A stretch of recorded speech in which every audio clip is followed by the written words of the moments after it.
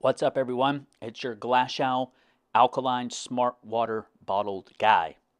Your bottled water individual here, talking about a band that has been really hyped recently.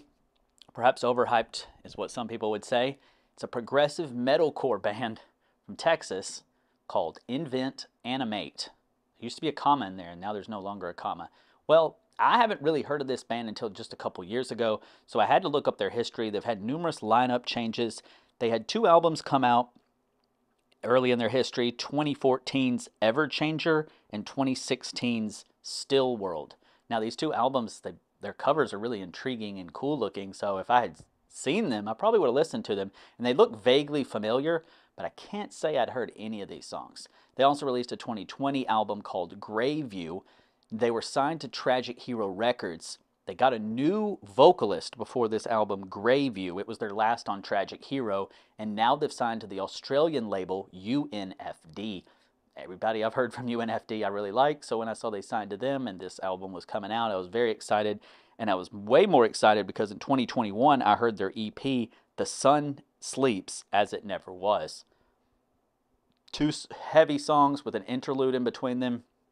It was fantastic. I think it's on my top albums and EPs of 2021. I mean, I loved that. I was like, wow, this band is everything I like about metalcore. And if I'm being honest, everything I like about metalcore Invent Animate does.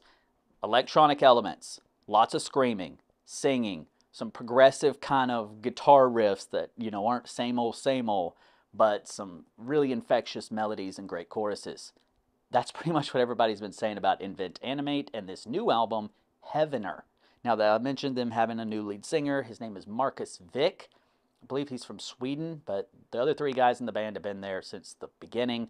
And I've seen people say that this is the best album in metalcore that's not made by architects. I've also seen people say that this is overhyped trash.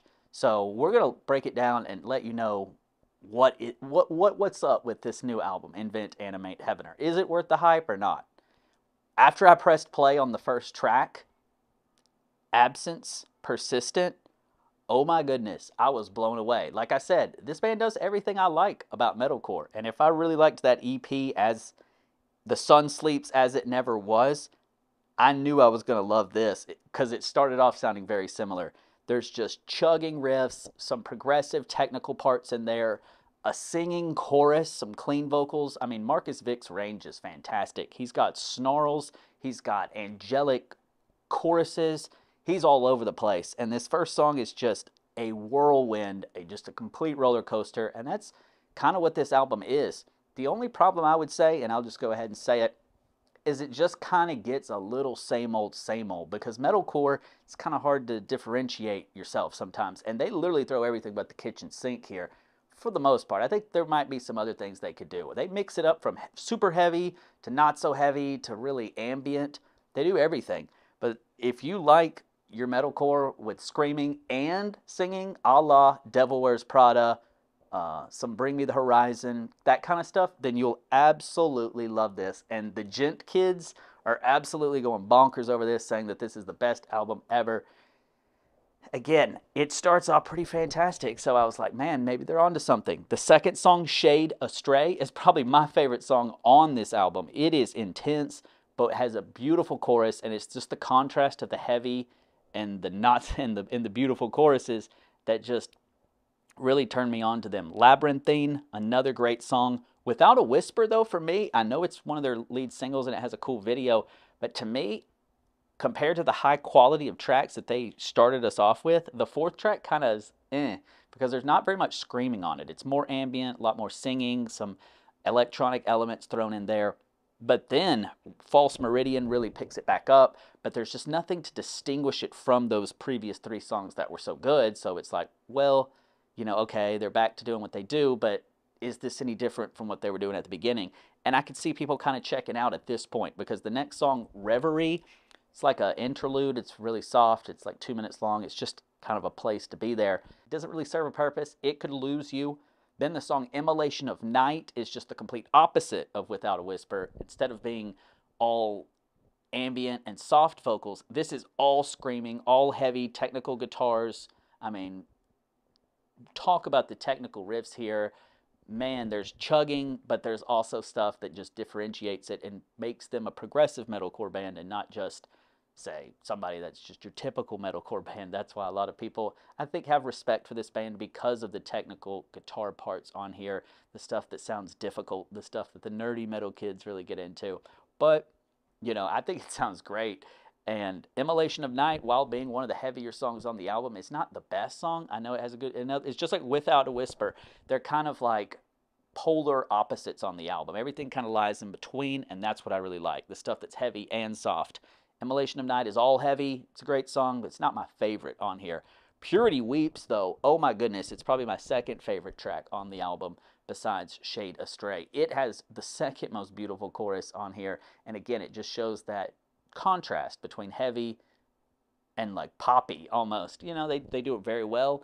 This album is produced by the self-produced by the band as well as Landon Tewers of the band of The Plot in You. I've been a huge fan of The Plot in You all throughout their history. They've gone some directions that I haven't really vibed with, but then the next album I'll get back on board. So anytime The Plot in You releases something, I always listen. And Landon Tewers is if, if there's one thing I'll give The Plot in You, they're not my favorite band. They haven't played some of my favorite music, but they're not afraid to take risks, and that's very rare in metalcore. Invent Animate, I would I wouldn't say they're taking enough risks, if I'm being honest, but they do take some. And I think in, people are saying this is their crowning achievement, this is their album, and I would agree with people saying that yes, they've come a long way, but I still think they have more in them, guys. I know people are saying like this is the best metalcore album ever, and it does rise above the rest. Most metalcore bands, as people accuse them of, kind of all sound same old, same old. There's enough here from Invent Animate to set them apart. However, again, the last three tracks are all great. Void Surfacing, good song, but it just sounds like you took different parts of an Architects songs and put them together. Ever, Ember Glow, a nice softer track. Elysium, and those last two songs just fantastic, have good choruses. The only thing I'm saying is at 46 minutes, this album may overstay its welcome a little bit. But they have so many technical and guitar parts that it's like, well, what would you take out? So would you cut a couple songs? I mean, who knows? It's just, it kind of bogs it down. It, it is a long listen. If you like it, from the beginning, you'll know absence per, absence persistent. The first track. That's all you need to hit play on. I'd say stick around. If you don't really like absence persistent. Wow, that's a tongue twister. You will like shade. You could like Shade Astray. I won't say you will, but if you like Absence Persistence, you'll like Shade Astray. Labyrinthine is another strong one. Like I said, it does kind of eh, plateau off for there for a while. It's not as strong, and then it kind of weakens in the middle and then picks back up towards the end. But the end, it's just kind of like, oh, these sound like the first three songs, but not quite as well done. Like I said, Purity Weeps is top caliber song. But Void Surfacing, Ember Glow, and Elysium are like, yeah, these are good, but they just sound like what I've already heard. And that kind of kills it, especially because the stuff in the middle is so different. Reverie, again, very different, kind of interlude song. Immolation of Night, all heavy without a whisper, kind of more ambient. But, you know, the last three, they're just back to the same old, same old, and they're just not reinventing the wheel. They do add some interesting elements here. It makes for an extremely pleasant listen if you like metalcore, which is why, like I said, the djent kids are giving it 90s and above in their reviews, but people are reading it and going, "Oh, this is so overhyped. This just sounds like everything every other metalcore band has done." And they're that's a fair point. But I don't know if any other metalcore band is doing it as smoothly, as cleanly, and with choruses that get stuck in your head like this. I mean, maybe Bring the Horizon, maybe The Devil Wears Prada, and I mean, those are some of the legends of metalcore. So for Invent Animate to be on their fourth album, and to have come so far from relatively unknown Texas band to changing their I believe his name was Ben English, the original vocalist. He left and now they have a new vocalist, Marcus Vik, and for him to take over, show his range and for everything else in the band to just still work as seamless as it does and sound so great, this band can pat themselves on the back. I know they've toured with all the big guys, so maybe they've taken uh, little bits of inspiration from their touring mates, but they do rise to the cream of the crop when it comes to metalcore. They do stick their heads above the crowd and make themselves known. On this album, like I said, they're not reinventing the wheel. This is not a genre defining. It could be a genre defining album, but it's not a genre changing or pushing metalcore forward by any means, but it's a fantastic listen if you like metalcore. It's a great workout album, I'll tell you that. It's uh, so heavy at parts, it's so angelic at other parts. I know that's a weird word to use for metal, but it really is. The vocals are fantastic and they're so well produced. Got to give the production here all the credit in the world. So I've said some good things about this album. I've said some bad things. So what kind of score am I going to give it? Like I said, I personally listen to it a lot. There are a couple songs there in the middle I may skip, or so it makes it hard to listen to as an entire album. But I always come back to my favorite songs: "Shade Astray," "Purity Weeps." I mean, even "Immolation of Night" if I want a real heavy song are always going to stand out. I don't know if this will make uh, the album of the year chart at the end, but I'm going to go ahead and give it a 7.5. I think that's a solid enough score. So congrats to Invent Animate for continuing to progress their sound. But for people that are saying that this is the polished diamond, I think you guys still have a little bit more work to do, but this is a strong statement of intent. I really liked what they did on their EP in 2021. This does build off of it, and it's 11 tracks of them perfecting that sound. So congratulations, guys. And I hope to see you guys come near my area and tour. If I see you guys come anywhere near with a five hour driving distance, man, I will be there because it sounds like these guys probably put on a kick butt show. Anyone who's been to an Invent Animate show, please tell me how it is because I think they sound great and I want to know if it's worth my time driving. But uh, yeah, that's the review for Invent Animates Heavener. Definitely go check it out if you like anything metal, alt rock, especially if you're into alt rock, but you're looking for an album that has screaming, but you're not yet real into screaming, but you don't want to dive completely into the metal and hardcore scene. Give this a try. It's a nice jumping off point. I think that might also be why so many people are giving it a high score. It might be their first taste into metalcore. And if it is, this is a good first taste. It'll leave a pleasant taste in your mouth. Well, thank you for watching. I'm sure we have more reviews coming up. As I said, the Bottled Water Guy channel is expanding into talking more about sports, geography, whatever the heck I want to. Uh, so the next video is going to be a geography video. If you want to see top 10 cities in the southeast, be on the lookout for that.